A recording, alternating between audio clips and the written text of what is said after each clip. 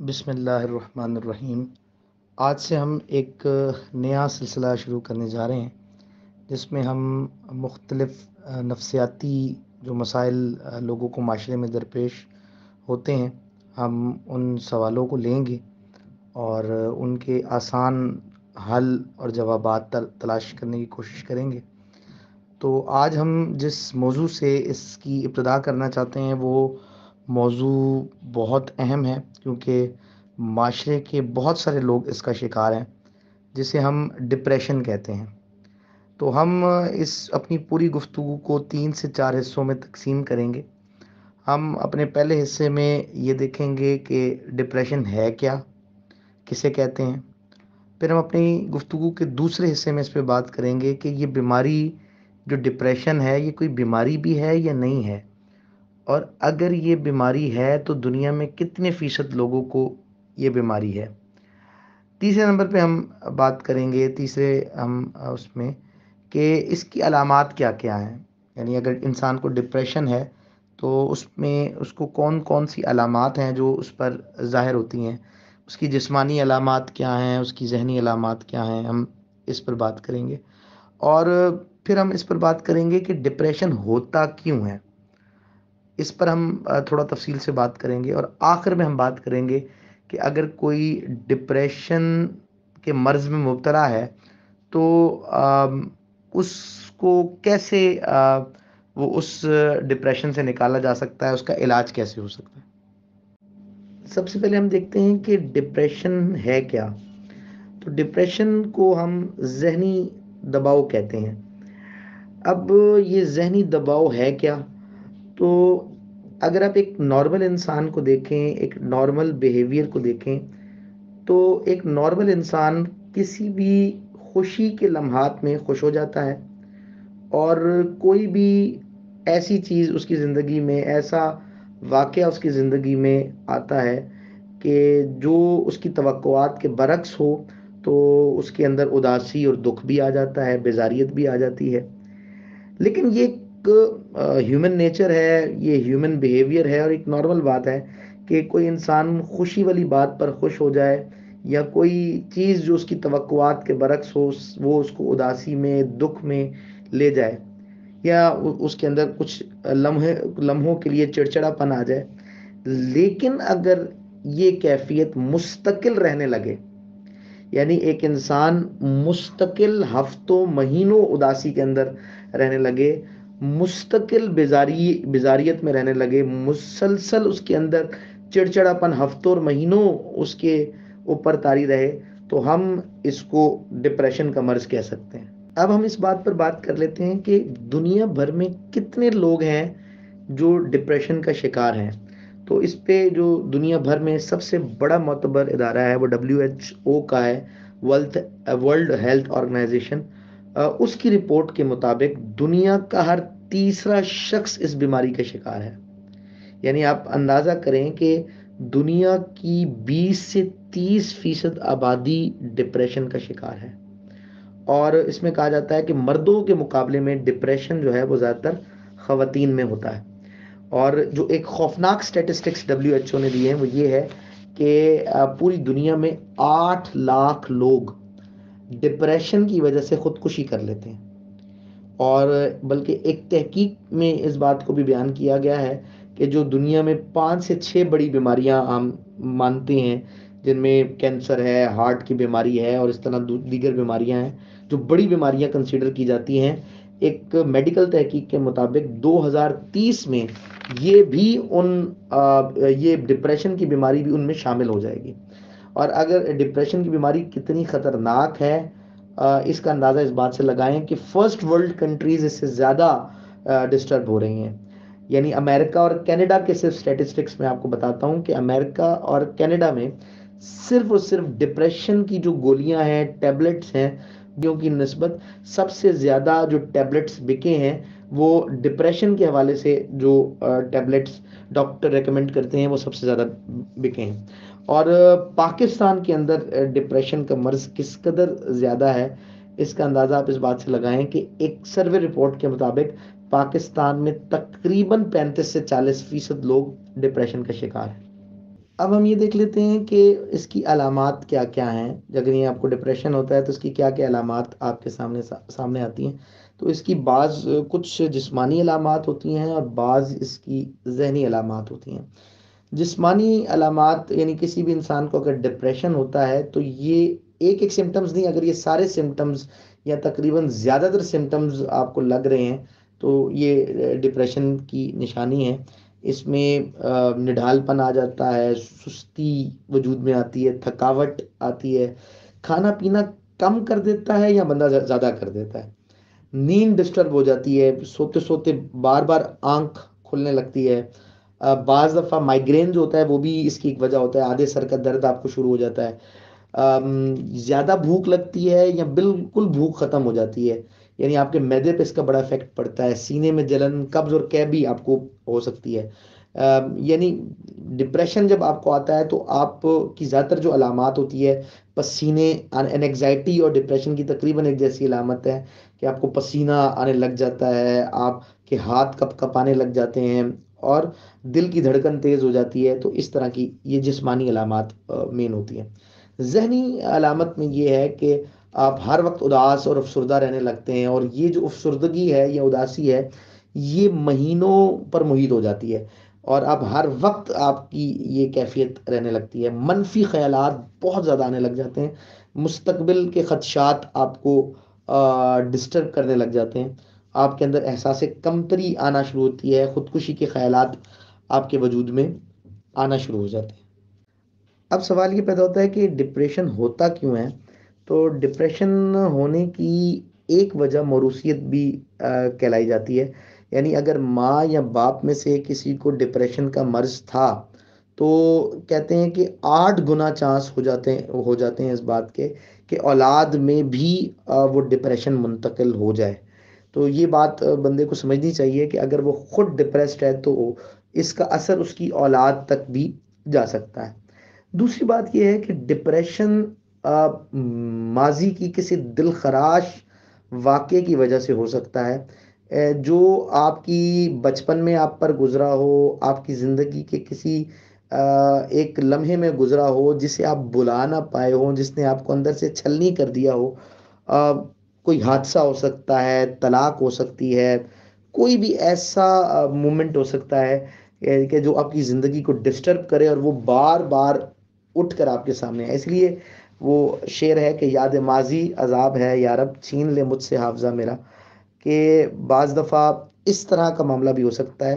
तो उसमें उसका फिर कुछ एक इलाज होता है, वो यहीं पर मैं डिस्कस कर लेता हूँ कि आप उसको लिखें अपने उस उस कैफियत को और आप बताएँ अपने आप को, जहन को आमादा करने की कोशिश करें कि ये माजी है जो गुजर गया है और अब आपके पास ज़िंदगी है, साँसें चल रही हैं, आप उसे बदल भी सकते हैं। तो बहरहाल, इस पर हम आगे जब उसके हल पर बात करेंगे तो हम तफसील से बात करेंगे। लेकिन जो याद माजी है, वो एक जो वाक़ है, वो जो कहीं आप पे चिपक गया है आपके जहन में, वो आपके अंदर डिप्रेशन को पैदा करता है। और फिर जो एक वजह होती है, वो अनगिनत ख्वाहिशात। आपका किसी ने लफ्ज़ों के ज़रिए कोई जहन बना दिया कि ज़िंदगी में इस चीज़ की बहुत नीड है और ये चीज़ आपको मिलनी चाहिए। आपने अपने अंदर एक लामहदूद ख्वाहिशात पैदा कर दी और आपने अपने आप को उन ख्वाहिशात से ऐसे मुंसलिक कर दिया कि अगर ये न मिला तो ये चीज़ नहीं, अगर आपको हासिल हुई तो बस ये डू और डाई वाली बात है।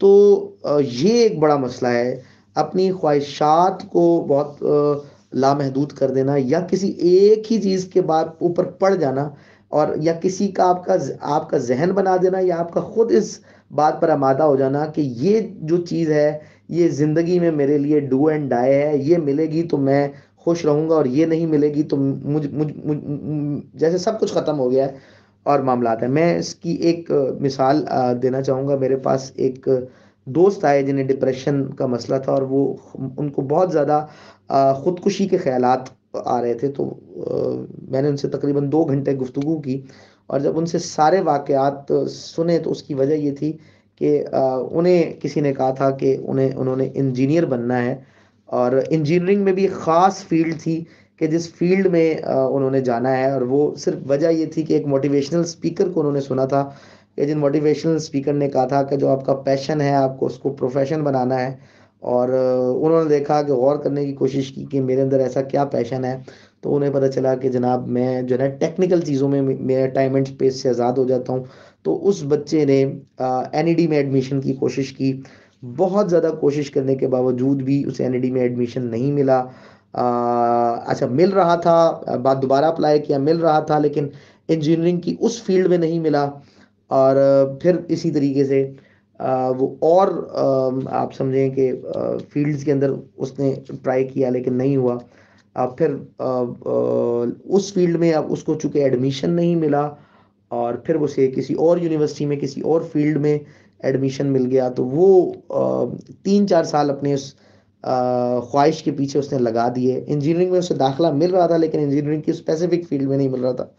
जिसकी वजह से वो इस कदर डिस्टर्ब हो गया कि उसको ख़ुदकुशी के ख्याल आने लगे। हालाँकि उसका घर भी एक पढ़ा लिखा घराना और एक अच्छा उसके यानी एक मिडिल क्लास फैमिली तकरीबन जो घर खर्चे अफोर्ड कर सकती है, लेकिन सिर्फ़ एक चीज़ ने उसे डिस्टर्ब कर दिया।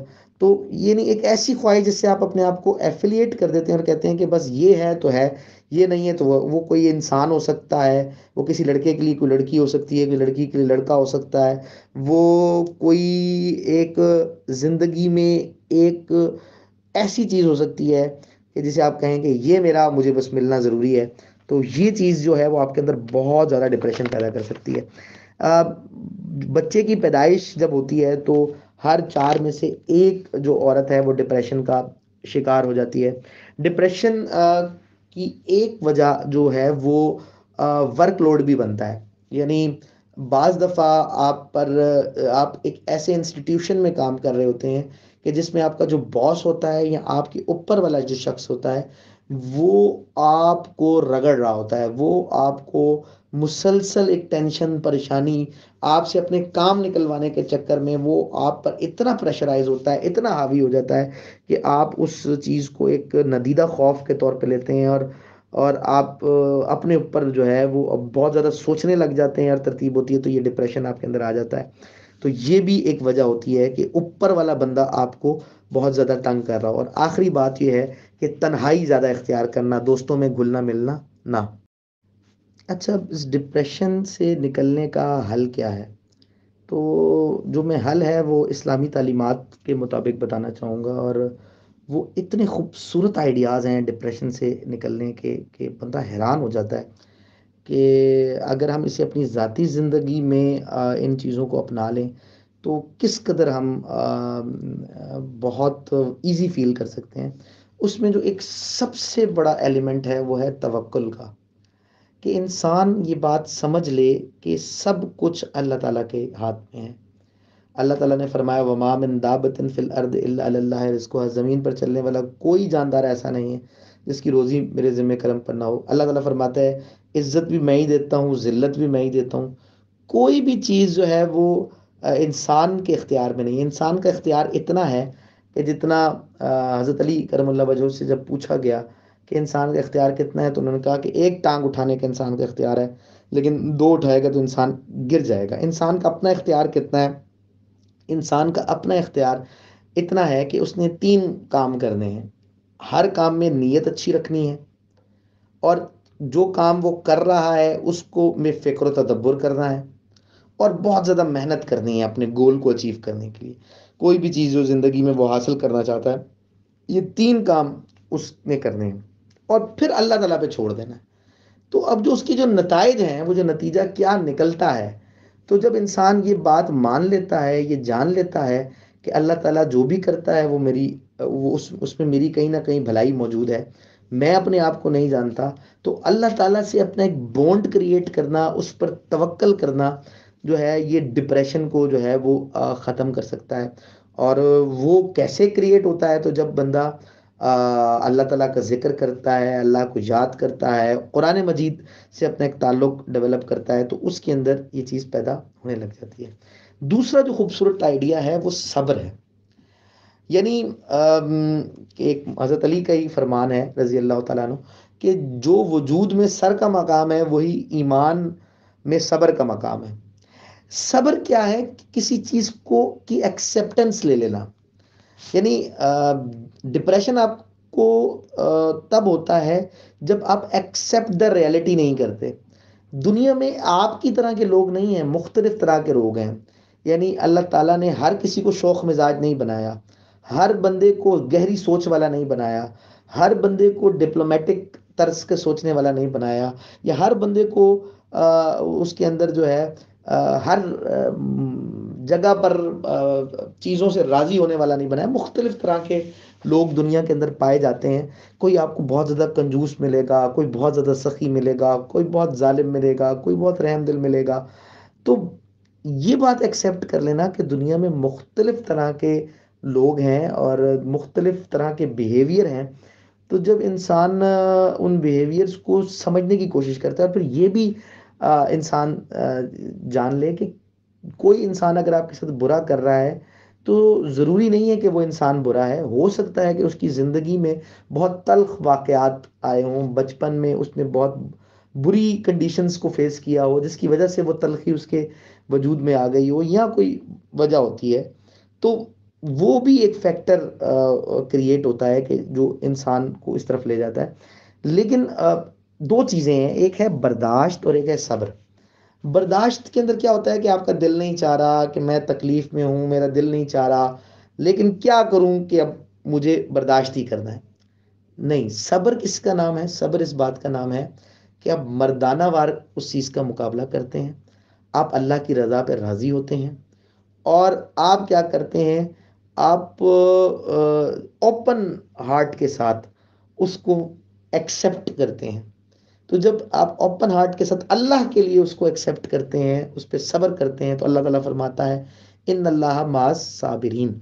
मसलन क्योंकि कुछ भी हो सकता है ज़िंदगी में जो आपको डिप्रेशन में ले जाए, आप, अचानक आपकी टांग, खुदा न खास्ता, कोई हादसे में कट जाती है, कोई आपके प्यारों के साथ कोई ट्रेजिडी फेस हो जाती है तो इस बात को समझना कि हर शय, कोई भी चीज़ जो है वो अल्लाह ताला से पूछे बगैर नहीं आती।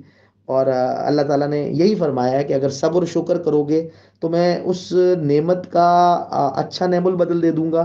या मैं क्या करूँगा कि उसमें तुम्हें जो है वो उस चीज़ को एक्सेप्ट करने में आसानी तुम्हारे लिए हो जाएगी। या अल्लाह ताला कोई ना कोई एक बेहतरी उसके अंदर, कोई ना कोई आपके लिए रास्ता निकाल देगा। यानी सब्र शुक्र जो है वो बहुत अहमियत का हामिल है। कि जिस तरीके से हज़रत इमाम गज़ाली रहमत ने फरमाया कि हर मुशक्क़त से बड़ी मुशक्क़त है हर आ, हर मुसीबत से बड़ी मुसीबत है। तो हर मामले में अल्लाह का शुक्र अदा करना चाहिए। हम बहुत से गुनाह और गलतियाँ करते हैं लेकिन अल्लाह ताला हमें पकड़ता नहीं है। तो कहते हैं अगर किसी को हज़ार कोड़े पढ़ने हों तो वो सौ कोड़ों पे छूट जाए तो हमें क्या करना चाहिए? हमें उस बात पर शुक्र ही अल्लाह का करना चाहिए। तो सब्र शुक्र जो है वो डिप्रेशन को जो है ख़त्म करता है। और जो एक अहम पॉइंट है, वो है अपनी सोच को जो है, वो मुस्बत रखना। असल में डिप्रेशन को एक और तरह से भी समझा जा सकता है। जैसा कतरा कतरा दरिया बनता है मुट्ठी मुट्ठी पहाड़ बनता है तो बेसिकली पहले इंसान को स्ट्रेस होता है। और माहरीन कहते हैं कि अगर तीन घंटे तक स्ट्रेस आपके वजूद में रहे तो वो एनजाइटी में बदल जाता है। और एनजाइटी दो दिन आपके अंदर रहे तो वो टेंशन में बदल जाती है। और वो टेंशन अगर मुस्तकिल आपके वजूद का हिस्सा हो तो वो डिप्रेशन में बदल जाता है। तो अगर कोई इंसान डिप्रेशन से बचना चाहता है तो उसको ज़रूरत इस बात की है कि उसे स्ट्रेस मैनेजमेंट सीखने की ज़रूरत है। यानी अगर कोई चा, इंसान चाहता है कि वो डिप्रेशन तक जाए ही ना तो उसे स्ट्रेस पर इसको कंट्रोल करने की ज़रूरत है। कि जब इंसान स्ट्रेस मैनेजमेंट सीख लेता है, इसी तरीके से जिस तरह साइकोलॉजी में एंगर मैनेजमेंट स्ट्रेस मैनेजमेंट ये सिखाया जाता है तो जो बंदा, और वो जो स्ट्रेस मैनेजमेंट है, वो अपनी ज़िंदगी को सिर्फ़ रूटीन करने से वो आपके अंदर स्ट्रेस मैनेजमेंट पैदा हो जाती है, जिससे आप जो है वो आगे नहीं बढ़ पाते और फिर आगे आपको डिप्रेशन नहीं होता।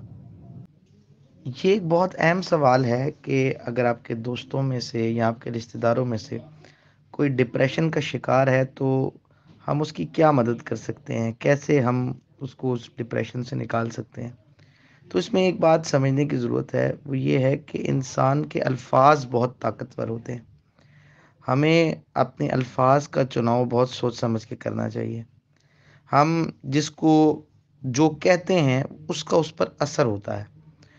आ, मिसाल के तौर पर अगर आप किसी आ, खाने की चीज़ का ज़िक्र करते हैं तो मुँह में पानी आ जाता है। अगर आप किसी को कोई ऐसी बात करते हैं जो महज़ब नहीं है और जो शाइस्ता नहीं है तो वो उसे महसूस करता है उसे गुस्सा आता है। अगर आप किसी की तारीफ़ करते हैं तो कोई मुस्कुरा पड़ता है। तो इससे ये बात समझने की ज़रूरत है कि जो अल्फाज हैं वो बहुत आ, ताकत रखते हैं।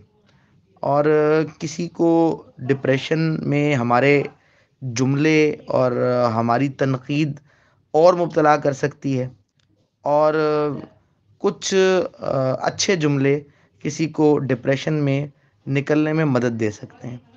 लेकिन ये बात इस पे जब तहकीक की गई तो बाज़ जुमले ऐसे साइकोलॉजिस्ट ने बताए कि जो हम अच्छी इंटेंशन से करते हैं, लेकिन जिससे सामने वाला डिप्रेशन का मज़ीद शिकार हो जाता है। हमारी इंटेंशन अच्छी होती है, लेकिन वो उससे और डिप्रेशन का शिकार हो जाता है। जुमले ऐसे सीखने की ज़रूरत है, या वो कौन सी बातें हैं जो सीखने की ज़रूरत है कि जिससे हम अगले की डिप्रेशन को कम कर सकते हैं? और वो कौन से ऐसे जुमले हैं जो हम कहते तो अच्छी इंटेंशन से हैं, लेकिन उसका असर अगले पर अच्छा नहीं पड़ता? तो मामला ये है कि इसमें हम पहले उन बातों का ज़िक्र कर लेते हैं कि जो हमें जुमले नहीं कहने जो बंदा डिप्रेशन का शिकार है उसे नहीं कहने। पहला जुमला जो अक्सर हम ऐसे लोगों से कहते हैं वो ये कहते हैं कि तुम डिप, डिप्रेशन से निकलने की कोशिश ही नहीं करते। तो ये जुमला नहीं कहना आपने कि तुम डिप्रेशन से निकलने की कोशिश ही नहीं करते। ऐसा नहीं है जो इंसान डिप्रेशन में है वो चाहता है कि वो उससे निकलने की कोशिश करे लेकिन आ, उसको वे आउट नज़र नहीं आ रहा होता। ये जो उसका ये जो जुमला है आपका ये आ, उसको डिप्रेशन में निकालने के बजाय बल्कि और उसको एक जहनी कश्मकश में डाल देता है। इसी तरह वो कहते हैं कि जो दूसरी बात कही जाती है वो ये है कि मुझे पता है कि तुम क्या फील कर रहे हो। और मेरे साथ भी कुछ ऐसा ही गुजरा था मामला। तो ये बात आपने नहीं कहनी कि मुझे पता है कि आप क्या फील कर रहे हैं। तो आपको नहीं पता कि उस शख्स की सिचुएशन तरह का जो जुमला है वो आ, नहीं कहना चाहिए। और ये भी आपको जुमला नहीं कहना चाहिए कि ये सब चीज़ें तुम्हारे दिल में हैं ये थोड़े वक्त की सैडनेस है ख़त्म हो जाएगी। इस तरह का जुमला भी नहीं आ, कहना चाहिए। और फिर किस तरह के जुमले जो हैं वो आ, कहने चाहिए कि जो आ, आ, अगले को डिप्रेशन से निकलने में मदद दें या उसको किसी हद तक रिलीफ आपकी बात से पहुँच सके तो वो कहते हैं कि tell them you can you care about them यानी ऐसे जो लोग होते हैं उनके बारे में कि आप उन्हें ये बताएँ कि आप उनके बड़े फ़िक्रमंद हैं उनके लिए। बस ये अपनी एक एटीट्यूड शो करना है कि आप उनके बारे में बहुत फ़िक्रमंद हैं। और आपने क्या कहना है? और आपने ये कहना है कि मैं हर वक्त तुम्हारे लिए हाजिर हूँ। उससे बस ये जुमला आपने कहना है कि मैं हर वक्त तुम्हारे लिए हाजिर हूँ। तुम्हें जब कुछ, जब तुम्हें किसी तरह की तुम्हें मुझसे हेल्प चाहिए हो, खुद से कोई हेल्प ना करें, बल्कि उससे पूछें कि तुम्हें मुझसे कैसी हेल्प चाहिए? और जैसी भी हेल्प चाहिए, मैं तुम्हारे लिए हाजिर हूँ। ये बात कहना बहुत मुफीद रहता है। और फिर उससे पूछ लें कि मैं तुम्हारे लिए क्या हेल्प कर सकता हूँ। और फिर दूसरी बात यह है कि आप जो है वो उसको सुने सिर्फ़। उसको डोंट बी जजमेंटल जजमेंटल ना बने, बल्कि आप सिर्फ़ ऐसे इंसान को सुने।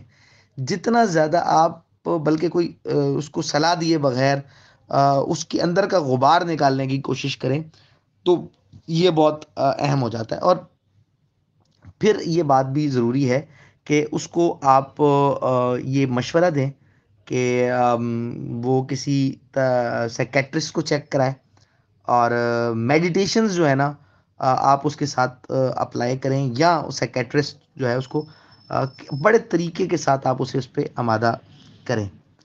और, ये बात बताएँ कि मुझे बहुत उम्मीद है कि तुम जो है ना, बहुत जल्द बेहतर हो जाओगे और ये एक उम्मीद दिलाना और तरतीब करना ये भी बहुत अहम होता है तो मतलब कहने का मकसद ये है कि दुख बांटने से कम होता है तो मामला ये है कि आप अगले को सुने अगले को ये फ़ील कराएँ कि आप उसके लिए हाज़िर हैं, छोटे-छोटे काम कर दें उसके, तो ये काफ़ी अच्छी थेरेपी अगले के लिए साबित हो सकती है।